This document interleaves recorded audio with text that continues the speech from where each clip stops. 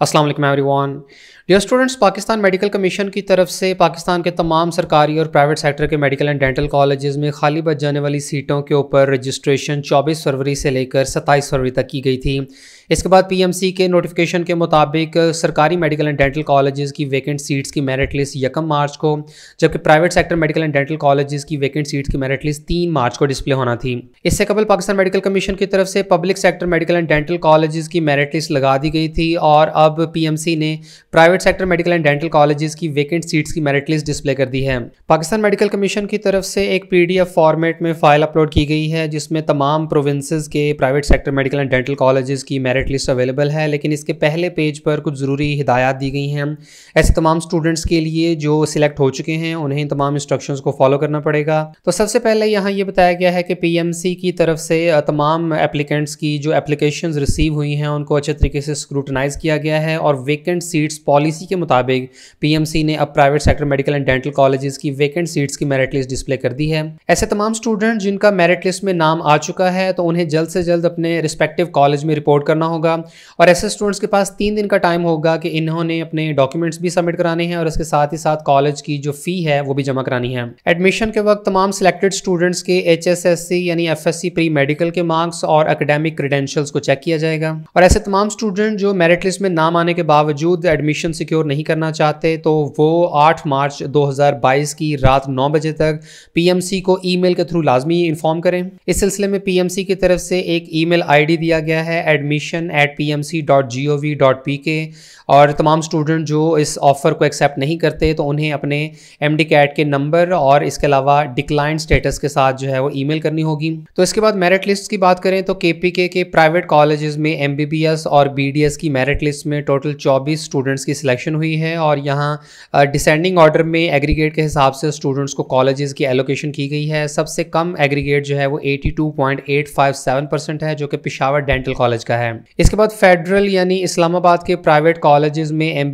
और बीडीएस की merit list यहाँ शो की गई है। यहाँ टोटल 37 स्टूडेंट्स की सिलेक्शन की गई है और सबसे कम एग्रीगेट जिस स्टूडेंट का है, वो है 78.571 परसेंट और इसका एचबीएस डेंटल कॉलेज में बीडीएस के प्रोग्राम में दाखिला हुआ है। इसके बाद सिंध के प्राइवेट कॉलेजेस में एमबीबीएस और बीडीएस की मेरिट लिस्ट यहाँ डिस्प्ले की गई है और हैरान कन तौर पर सिंध में बहुत ज़्यादा नंबर ऑफ़ सीट्स जो हैं वो खाली रह गई थी और अब इनके ऊपर मेरिट लिस्ट डिस्प्ले की गई है और टोटल आठ तीस ऐसे स्टूडेंट्स हैं जिनका मेरिट लिस्ट में नाम आया है। सबसे कम एग्रीगेट 69.524 परसेंट है और ये Altamash institute of dental medicine में बीडीएस के प्रोग्राम का है। इसके बाद पंजाब के तमाम private sector medical and dental college में एमबीबीएस और बीडीएस की मेरिट लिस्ट की बात करें तो यहाँ भी तीन सौ ऐसे स्टूडेंट्स हैं जिनका मेरिट लिस्ट में नाम शो किया गया है। सबसे कम aggregate eighty three point triple three percent है।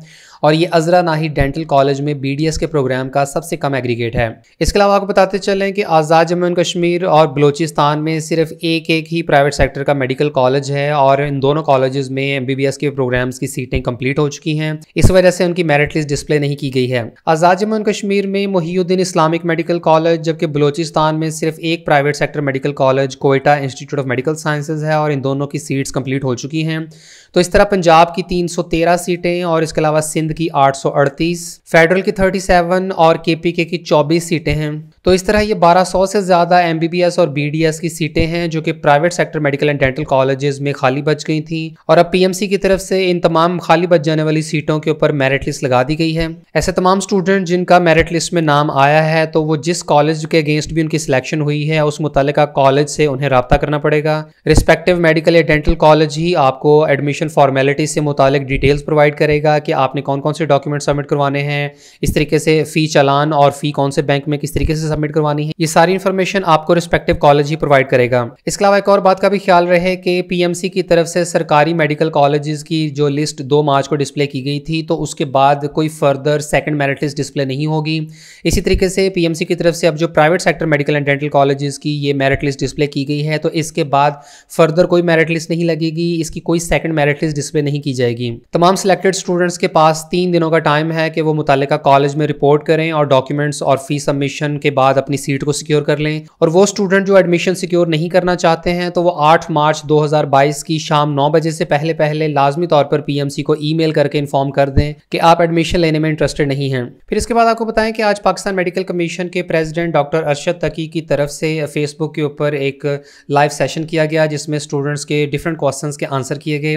दो घंटे पर मुश्तमिल इस लाइव सेशन में एम डी के हवाले से जो चंद एक इंपॉर्टेंट बातें बताई गई, वो आपके साथ उसकी समरी शेयर कर देते हैं कि सबसे पहले तो एम डी कैट के सिलेबस के हवाले से उन्होंने ये कहा था कि एम डी कैट का सिलेबस जो है वो पी एम सी की वेबसाइट के ऊपर अपलोड किया जा चुका है और मोस्ट प्रॉबली इसमें किसी किस्म की कोई मेजर चेंजेस नहीं हो सकेंगी। यानी अगर इसमें थोड़ी बहुत तब्दीली होती भी है तो वो चंद एक छोटे से टॉपिक जो हैं इसमें से एलिमिनेट किए जा सकते हैं, कुछ इसमें अल्ट्रेशन की जा सकती है।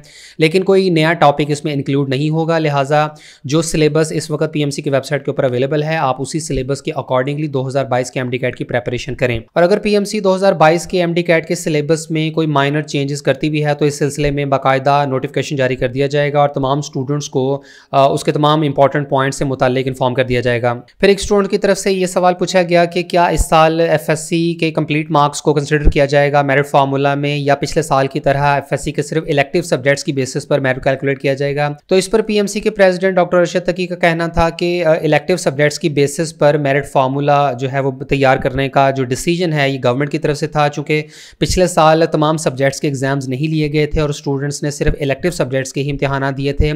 तो इस साल चूँकि तमाम सब्जेक्ट्स के एग्ज़ाम्स लिए जाएँगे, पाकिस्तान के तमाम बोर्ड्स की तरफ़ से, इसलिए इस साल का जो मेरिट फार्मूला है, उसमें एफ़ का जो कंप्लीट रिज़ल्ट है उसके मुकम्मल स्कोर की बुनियाद पर मेरिट फार्मूला तैयार किया जाएगा। यानी जो मेरिट फार्मूला के अंदर 40 परसेंट या कुछ केसेस में 50 परसेंट एफ़ की वेटेज होगी तो वो इलेक्टिव सब्जेक्ट्स की वेटेज नहीं होगी, बल्कि वो कंप्लीट एफ़ के मार्क्स की वेटेज ली जाएगी।